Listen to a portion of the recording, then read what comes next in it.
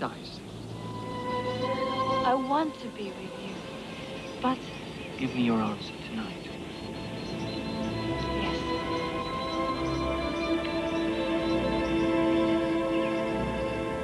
Mm, now, obviously, tonight's the night because here he is, Jason Connery.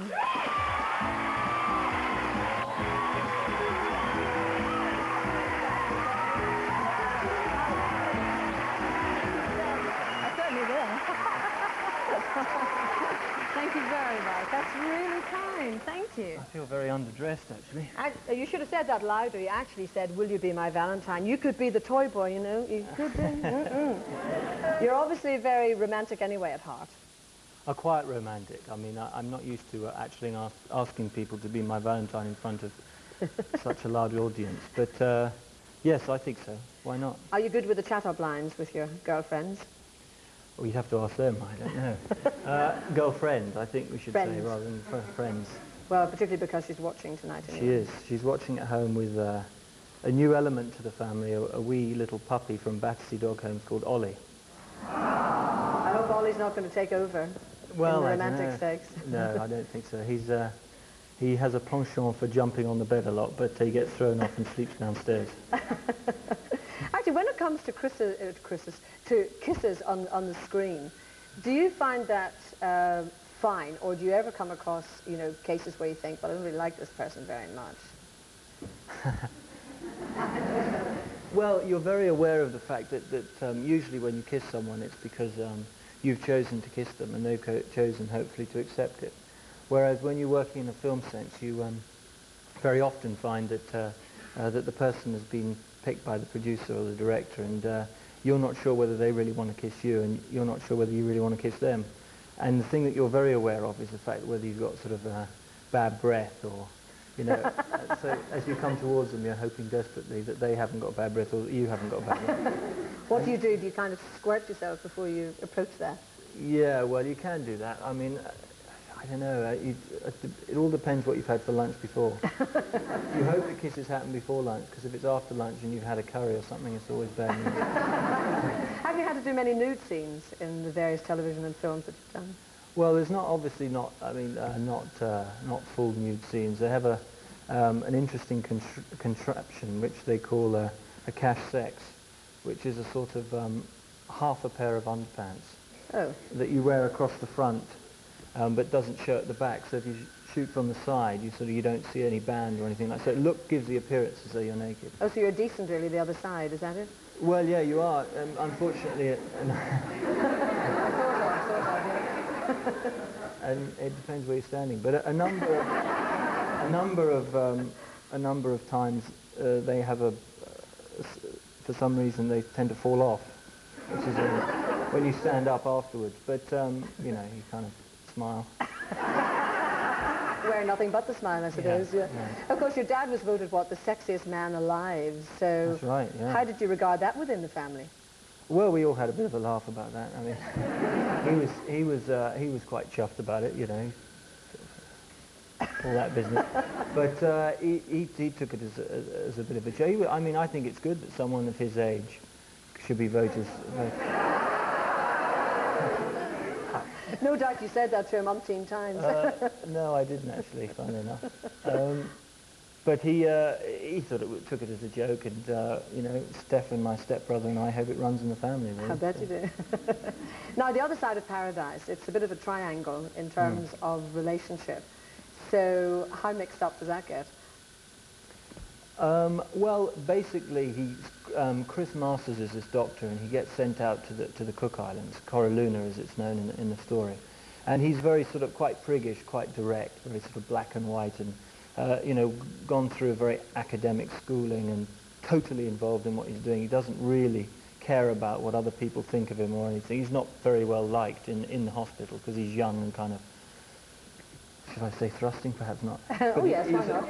and uh, um, he then he then ha- something happens to him where he is actually sent out to to this place Coraluna, and he finds himself in an environment which he's totally unused to, and um, initially he doesn't make many friends, and uh, it's sort of uh, the story sort of basically shows the unraveling of a person who becomes more adept at communication.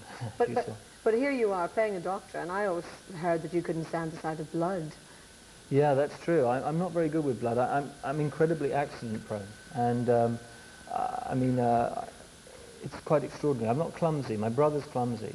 But I'm, I'm accident prone. And I, I mean, things happen to me that I think possibly I'd be a good doctor because I've been in a hospital quite often from those things. But, but uh, Well, what sort of things, though? Oh, things, um, for instance, uh, there was a, coming out of a car park, one of those multi-story car parks. I was in Los Angeles, and there's the door like this.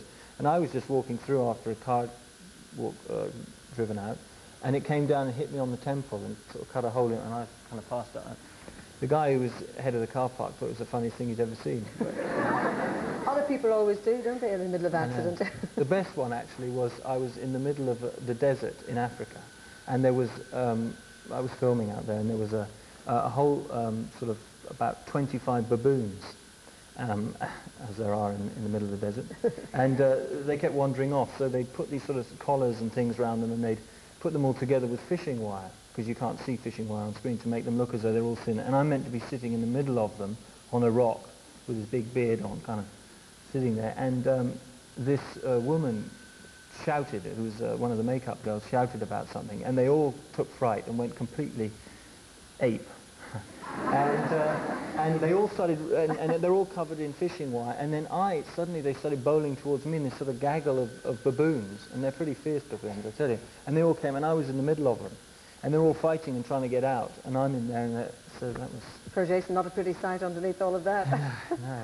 well, I hope it's an accident-free evening. I know you're taking your girlfriend out for a Valentine's dinner, but Yeah. in the meantime, I got the red roses. So, Jason, thank you very much indeed. Thank you. Jason Connery.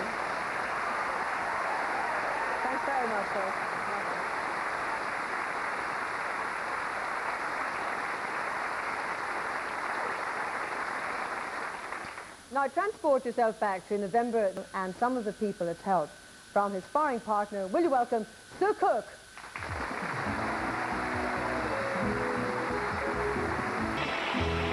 And he's about to hit our screens again in Noel Barber's steamy bestseller, The Other Side of Paradise, as a young English doctor who embarks on a turbulent relationship with a society girl and a forbidden love affair with a native princess.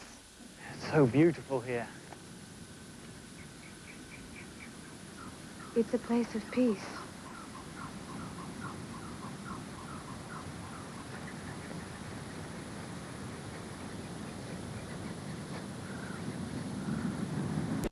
So many people. Many more could have died. You hadn't.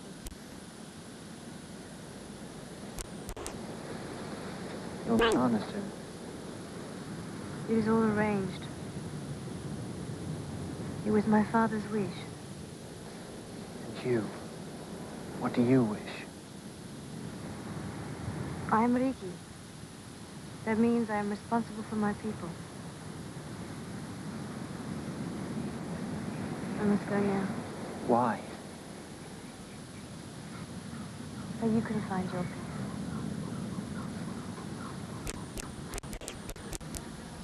Welcome, Jason Connery.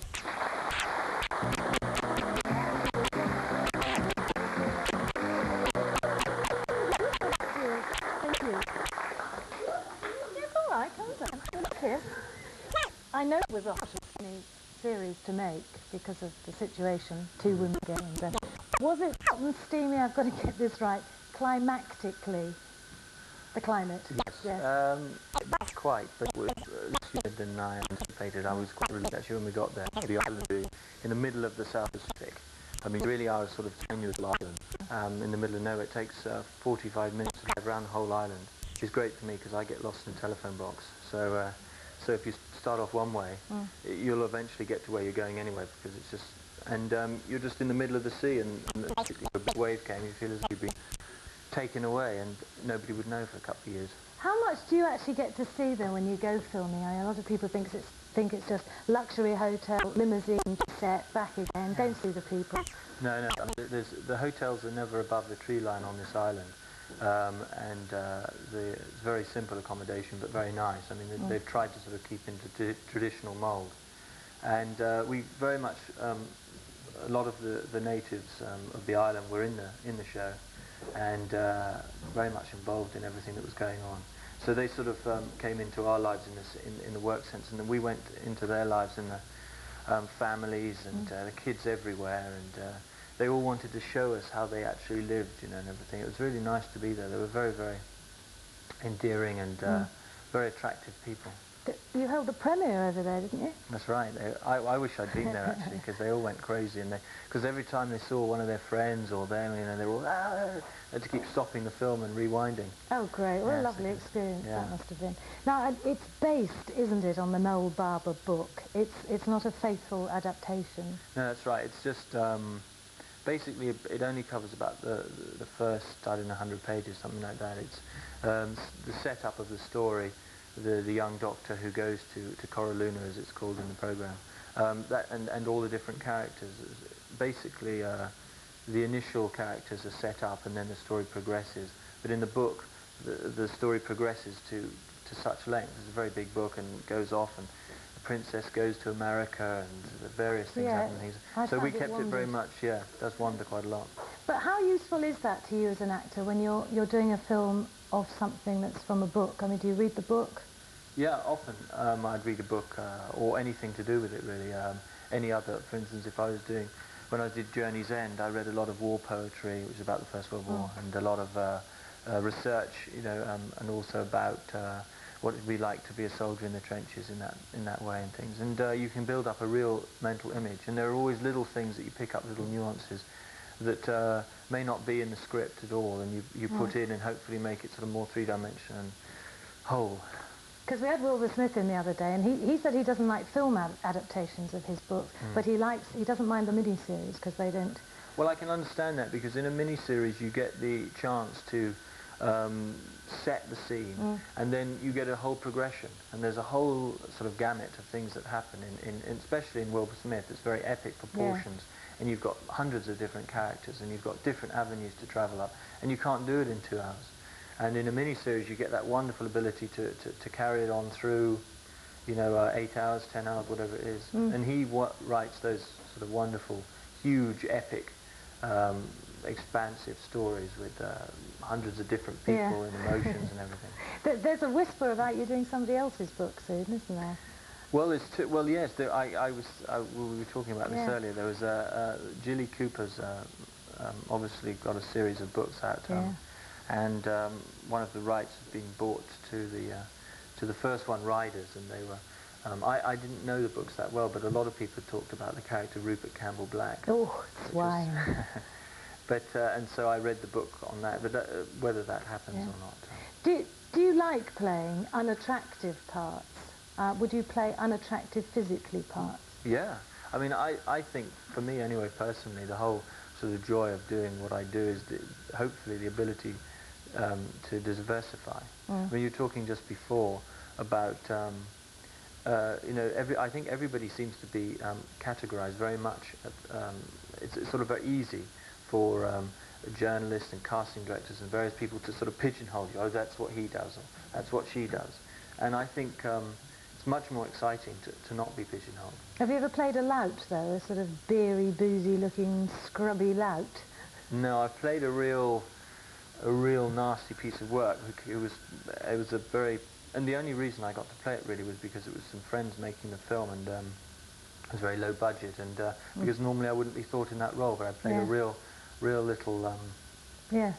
yes, and I had great fun doing that. I shaved my head and wore little round glasses, and uh, and um, committed various crimes, which I didn't do physically, but I told people to do in a very charming way. Has, has the name ever closed doors to you? Being, you know, Sean's son, has it ever closed a door because you'd be thought to be too famous or whatever? I don't know. I, you see, those I'm, I'm never on the inside of the door. If it has been closed, I'm always on the outside anyway, so I don't know why it's been closed. But um, I'm not sure, to tell you the truth. I, I, I'm often asked, you know, if it's good or bad. I, I really couldn't tell you because I haven't been anything else as far as Yeah. being the son of someone famous. But um, it definitely uh, is something that is, is, is, is given a lot of attention Oh, sure, yeah. which means that um, some things that you think are more important aren't given as much attention. So in, in, in, a, in a way it can be, you know, It might, it might open a few doors for you in your, the project you're hoping to get off the ground, which is an H.E. Bates that's show, right, yes, um, Feast of July. It's uh, just a really good story, really solid, playing a, a farmer, and he's. Uh, I just think it would be a very interesting uh, film to do, and unfortunately they need half a million pounds. So if anyone's Well, what about, listen, I have read in the papers at the weekend that Michael Caine wants to set up a, um, a film company in this country, and, uh, right, well, you I'll have to know, go and see I'm him sure he knows the Connery name. Yeah, well, I mean, might even give him a part. He's probably watching, so he'll be on the line to you a little bit later. Right. It's been a pleasure talking to you, ladies and gentlemen. Jason Connery.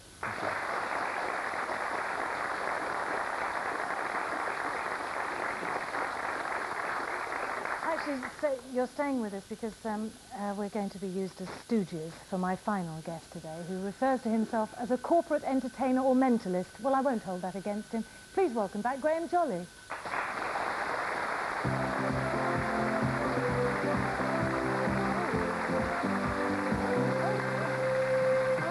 Oh, hands, oh, hands. Graham, what's a mentalist? Hello, Judy. What is a mentalist? Yes. Well, it's a person who involves people with experiments Yes. in chance, suggestion, probability, telepathy. You don't, you don't like the word tricks or magician or... No, I'm aware of some magician's techniques, but um, I very rarely use them, only when I'm under, under pressure. You don't look like somebody who would be in showbiz, if I can be so rude. No, no, um, I used to be a merchant banker. Yes. A lot of people think I still am. and, um, and I, but I left the bank about 15 years ago. I had, a, I, was, I had a wonderful opportunity. I was invited to study parapsychology with Dr. Eugene Wolf at the Unstock Institute in Leningrad. Oh, yeah. Well, it's not strictly true. There's a bloke called Sid in Clacton. But, Yes. I, It sounds as good anyway, Yes. doesn't it? but I study in various sources. you know. Well, I won't say a trick, but you've got a little event for us now. Um, you've put that tray of watches there. Yes, we've collected these. One of the uh, producers collected a few from the audience, I believe. Yes.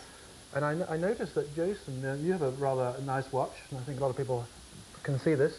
Could I borrow it just for a moment, Jason? Yeah, sure. Thank you very much indeed. Pleasure to know That's right. Jason, I've got one of our balls in already. Now, would you... Not too much noise, please. Jason, would you object if I alter the time on your watch? No, no, certainly go, Okay. go ahead. I'm going to set your watch, if I may, to a time, I think about... about there. Jason, would you please hold your left hand out flat and just close your hand around the watch? I wonder if you just hold it like that so we can get it in shot. Right. Now, let's take one of these watches. This is where I'd like you to help me, Judy. All right. Oh, the winder won't come out. Okay, let's try it. Oh, no, rather nice piece. Pocket watch. Judy, I'm going to ask you to take this watch. Yeah. And in a moment, I'd like you to set it to a time. You do that for me? Yes. I'm just going to ask Judy to set the watch to a time. Before you do this, just hold the watch, would you? Turn the winder around just to familiarise yourself with the watch, backwards and forwards. Everything okay? Would Mm-hmm. you stop? What time, Judy, have you stopped the watch to, I tell you, please? 20, 26, 25 past 5. Okay, would you close it, please? Turn the hands around again, would you? Hand me the watch. Now this time you couldn't see because the lid was closed, so obviously it'd be purely random. This time it's what? Well, you didn't move it much, about quarter, quarter past five, is that right? Yes. Judy, this is the important one. Take the watch, turn the hands around again once more, and this will be the time, this will be the time we will use. We have never met before. I know. Just in the previous life. like Mensa's waiting room. Don't know. Hold the watch in your hand, would you? Oh, how much more? May we just recap? Jason, you lent me your watch, is that true? Which I've set to a time which you have in your hand. And Judy set the pocket watch to a time, which I believe...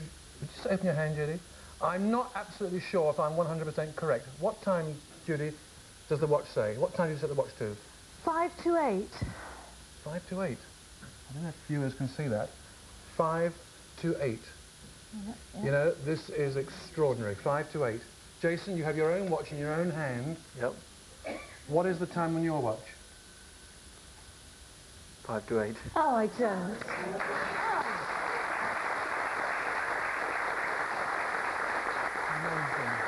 You know, folks, I've got to say, I've got, I must say this, I feel genuinely privileged to be here today and to have witnessed this.